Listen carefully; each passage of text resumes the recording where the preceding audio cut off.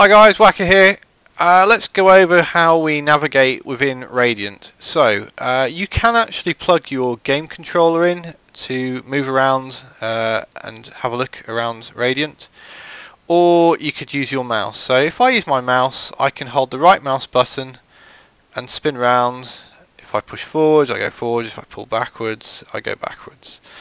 If I want to angle the view way I'm looking at the map, I could use my A and Z key to look up and down, and I can use C to go downwards, or D to go upwards. Uh, I can also use the scroll mouse, uh, scroll scroll wheel on my mouse to go in and out. Uh, you can choose how best you want to navigate the windows, but you need to just get used to those uh, basic ideas. You have two key windows at the start. You have your camera view and you have your sort of radiant uh, uh, 2D view. And, and you can flick between this view on the left hand side. If you hold down control and tab it will change the orientation that you're looking at the map. Um, you'll also notice that we have a grid system. So if we zoom out you start to see all the coordinates on here and, and the grids. Naturally any new map starts in the center. If I zoom in we'll find we have a fine grid pattern on here. Now, uh, I'm using an, a UK English keyboard, um, so we have the square brackets uh, on mine, which is next to, to the right of my uh, P key and to the left of my Enter key. If we use the square brackets, uh, we can change the size of the grid.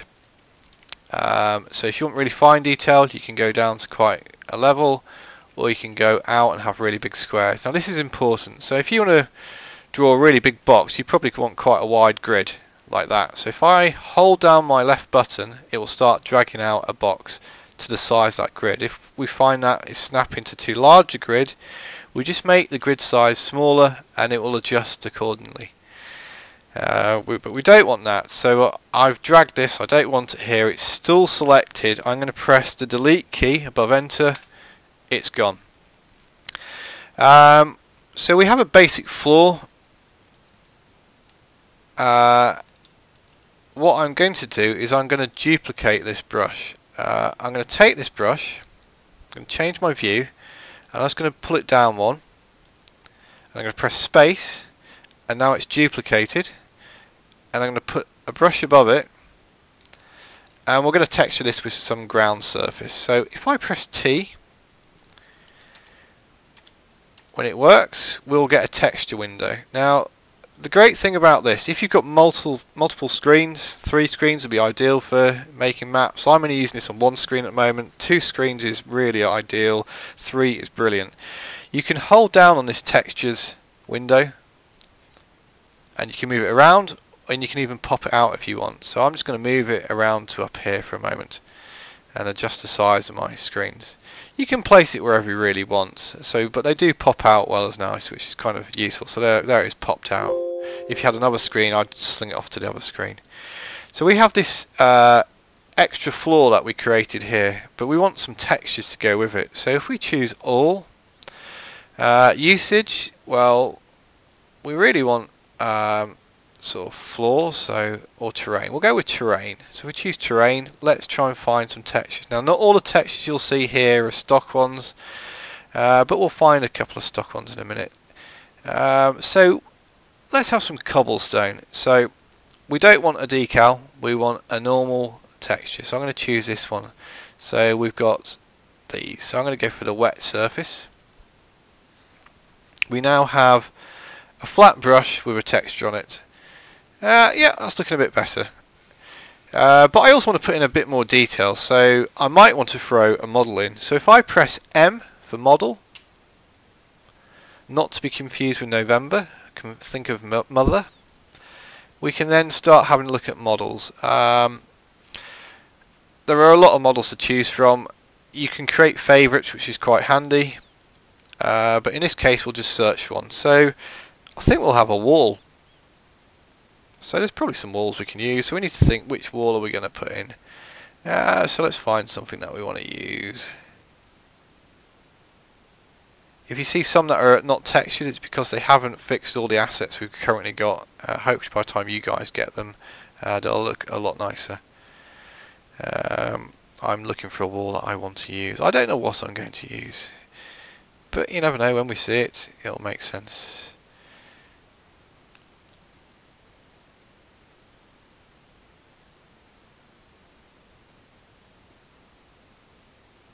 Here we go. So, yeah, so let's have uh, that church wall. So let's drop it there. So all I've done, I've selected my le left mouse button and dropped it.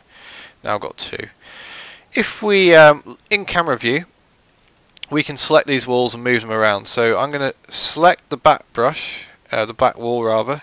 So I hold down shift and click with my left mouse button.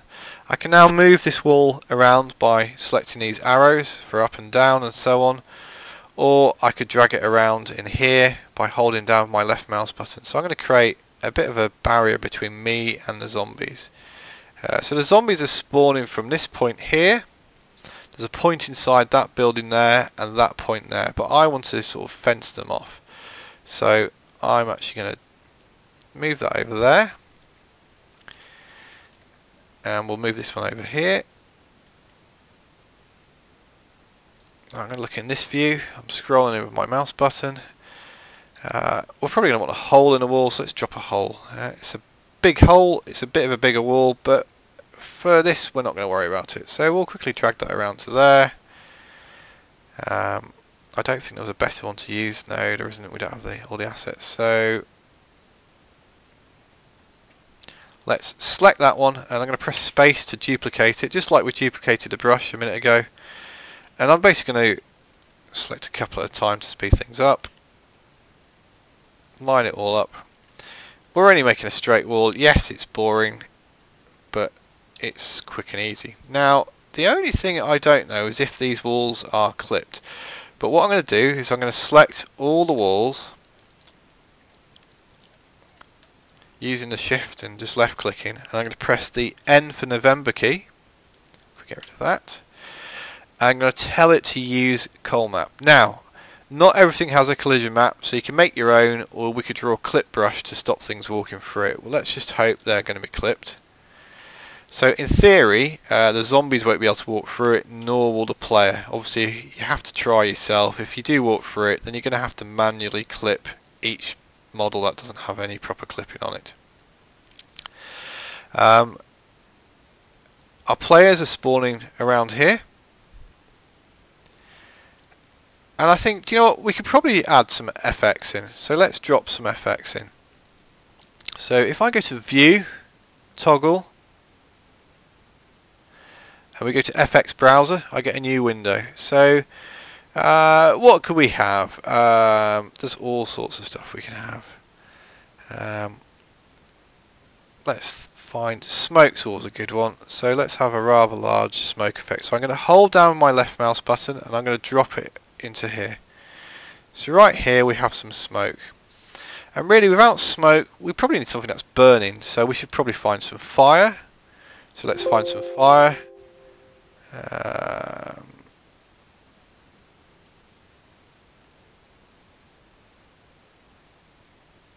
let's pick this one, don't know if it's any good. Yes, yeah, so we've got some fire as well. So we've got two FX. So you can just about see the effects of these two items here. And well, we need something that's actually burning. So let's go back to models. Let's press M for models. Um, we can pick a car.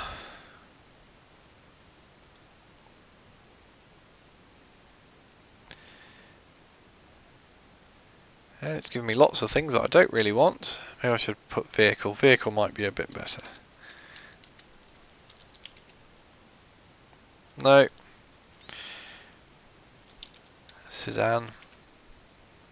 Here we go, I've got a car. Here we go, there's a dead car. So I'm going to drop that into there. I've never tested this model in game, so if it doesn't appear, it causes a problem, well, uh, it'll be another model that needs to be fixed by Treyarch, but we'll worry about it in a minute. So I'm going to just move that over there. I'm going to take my FX, and I'm going to move them over here and I need bringing over here a little bit. Now you notice the smoke's still over here. If I go up to here, I can re-trigger the FX, and now it's in the correct location. It sometimes doesn't automatically go with you when you put it in. But now we've got a bit more of a map really now. It's it's quick, it's easy. Uh, we've created some very quick um, detail into it. I wouldn't mind knowing what it looks like in game, so I'm going to press F9. There are various views. We're in F8 at the moment. If I go to F9, that's uh, camera mode, and I need to rebuild the lighting. So I'm going to click on that, and away it goes. It's going to look at all the probes and calculate where all the shadows should be. Uh, it does tax your machine. The better graphic card and CPU you've got, the quicker this will occur. If you have a slow machine, it will take longer. You just have to live with that. So there we go. We now have a burning car. It's not the best FX, it's meant to be a Vista FX, uh, but let's not worry about that. We've got a wall, we've got a broken bit in the wall, and the zombies are going to be around here. So what we need to do is go away and compile and test this. So let's do that. Let's save that.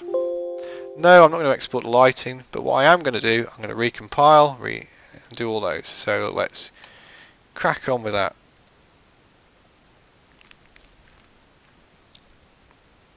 So away this will go. Uh, it'll probably take a little bit longer this time because it has to put all the new uh, detail that I've put into the map.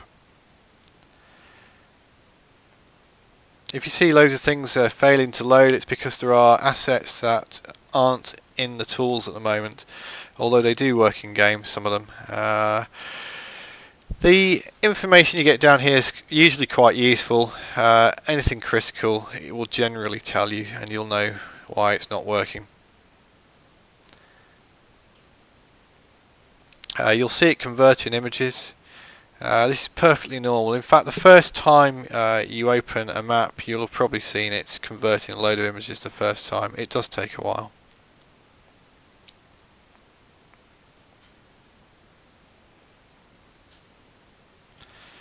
Um, so hopefully this will go on a little bit further and we'll be able to test it. So let's just see how we go. Still linking at the moment.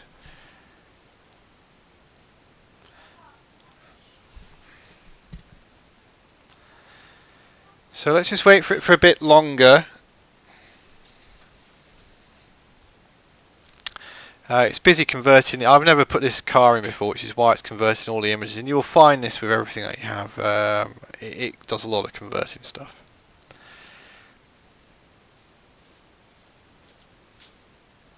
And a lot goes into this car for a broken sedan. Good grief. Let's just bear with it.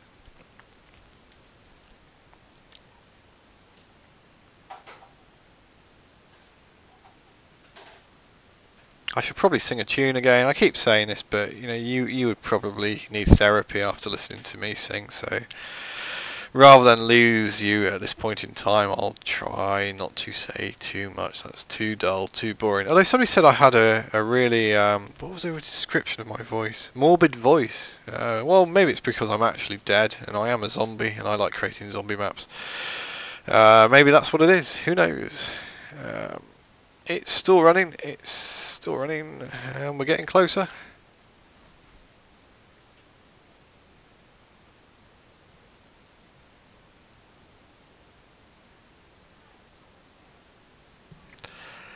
And I think we may well be there. So we're going to test this map now. So we'll click on these. And let's run and let's see how it looks and uh, we'll see how it goes.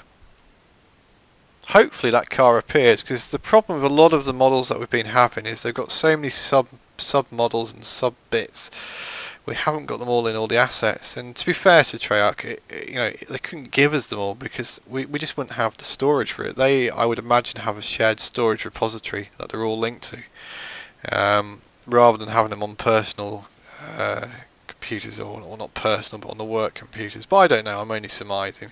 But they must have a hell of a lot of assets, and you'd need terabytes of storage for it all.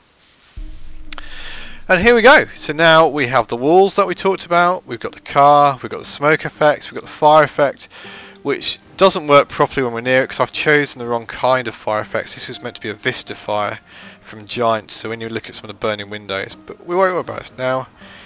All the zombies come through the walls. This will tell us whether they are clipped. So the, this is what I was talking about. Not all the models have clipping, so you have to manually clip them. But it's not the end of the world. But at least we're starting to add some detail in.